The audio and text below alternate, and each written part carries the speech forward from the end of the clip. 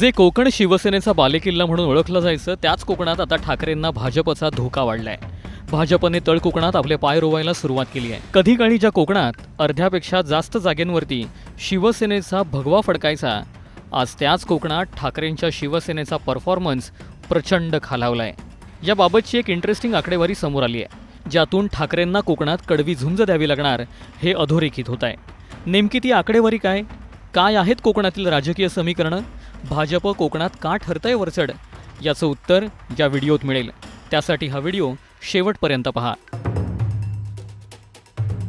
तळ कोकणातील सिंधुदुर्ग जिल्ह्यात उद्धव ठाकरे सगळ्यात जास्त बॅकफूटला गेले आहेत. सिंधुदुर्ग जिल्ह्यातील तीनही विधानसभा मतदारसंघात भाजप विरुद्ध ठाकरे गट असा सामना रंगण्याची दाट चिन्ह आहेत. त्यात भाजपचं पारडं जड असल्याचं बोललं जात आहे ते कसं? यासाठी ही इंटरेस्टिंग आकडेवारी पहा. दोन हजार एकोणीसच्या निवडणुकीत भाजपला अख्ख्या सिंधुदुर्ग जिल्ह्यात एकूण एक लाख पंच्याण्णव हजार इतकी मतं मिळाली होती. योगायोगानं शिवसेनेलाही तितकीच म्हणजे एक लाख पंच्याण्णव हजारच मतं मिळाली होती. पण गेल्या लोकसभा निवडणुकीत भाजपला सिंधुदुर्ग जिल्ह्यातून तब्बल दोन लाख सत्तावन्न हजार मतं मिळाली आहेत. तर शिवसेनेला फक्त एक लाख सत्तावन्न हजार मतं मिळाली होती. अर्थात दोन हजार एकोणीस साली कोकणात भाजप आणि शिवसेनेचं जे वर्चस्व फिफ्टी फिफ्टी होतं ते आता बदललं आहे यंदाच्या लोकसभा निवडणुकीत भाजपला तब्बल बासष्ट टक्के मतं मिळाली तर शिवसेना ठाकरे गटाला अडतीस टक्के मतांवरच समाधान मानावं लागलंय. दोन हजार एकोणीस ते दोन हजार चोवीस या पाच वर्षात शिवसेना ठाकरे गटाची बारा टक्के मतं भाजपकडे शिफ्ट झाली आहेत. याचं कारण काय तेही समजून घ्या. सिंधुदुर्ग जिल्ह्यात एकूण तीन विधानसभा मतदारसंघ आहेत.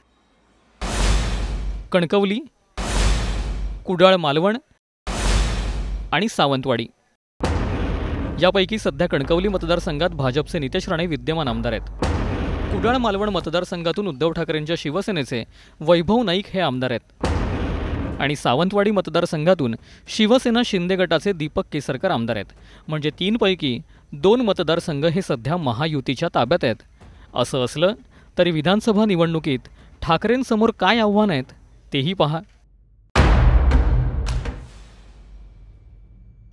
सुरुवात कणकवलीपासून.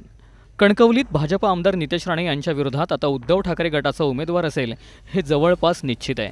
पण तो उमेदवार कोण असणार हे मात्र अजून निश्चित नाही आहे तर यंदाच्या विधानसभेत नितेश राणेंना हॅट्रिक करण्याची संधी आहे. आता ठाकरे नितेश राणे यांच्या विरोधात नेमका उमेदवार कोण देणार? दोन हजार एकोणीस साली राणेंविरोधात पराभूत झालेल्या सतीश सावंत यांना पुन्हा संधी दिली जाणार का? की नवा चेहरा शोधला जाणार? हे पाहणं महत्त्वाचं ठरणार आहे. कुडाळ मालवण मतदारसंघातून यंदा वैभव नाईक यांनाही हॅट्रिक करण्याची संधी आहे. पण वैभव नाईक यांच्या विरोधात थेट राणेंचे दुसरे सुपुत्र आणि माजी खासदार निलेश राणे हे भाजपकडून निवडणूक लढवण्यासाठी इच्छुक आहेत. तर दुसरीकडे शिवसेना शिंदे गटानेही या जागेवरती दावा केला आहे त्यामुळे वैभव नाईकांना ही जागा राखण्यासाठी प्रयत्नांची पराकाष्ठा करावी लागणार हेही तितकंच खरं. शालेय शिक्षण मंत्र्यांच्या सावंतवाडी या मतदारसंघात इच्छुक उमेदवारांची भाऊ गर्दी आहे. भाजपचे माजी आमदार राजन तेली यांचंही नाव त्यात येतं. पण समजा महायुतीने ही जागा शिवसेना शिंदे गटाला सोडली तर राजन तेलींचं काय? राजन तेली बंडखोरी करतील का? यावरही अनेक गोष्टी निर्भर आहेत. एकंदरीत सध्याची राजकीय परिस्थिती पाहता सिंधुदुर्ग जिल्ह्यात सध्या भाजपचा बोलबाला आहे. पण मतांची टक्केवारी आणि आमदारांची संख्या यावरून भाजपचा बोलबाला आहे असं आपण म्हणू शकत नाही. ग्राउंड रियालिटी काय आहे? लोकसभेला ठाकरेंचा उमेदवार पराभूत होण्यामागे अँटी इन्कम्बन्सी तर कारणीभूत नव्हती ना याचा विचार होणंही महत्त्वाचं आहे. त्यामुळे कागदावर जरी ठाकरे बॅकफुटला दिसत असले तरी वास्तवात मात्र चित्र पालटलं तर नवल वाटून घेऊ नका. लोकसभेप्रमाणे विधानसभेतही कोकणात भाजपचा बोलबाला असेल की उद्धव ठाकरेंची शिवसेना बाउन्स बॅक करेल? तुम्हाला काय वाटतं? कमेंट करून नक्की सांगा.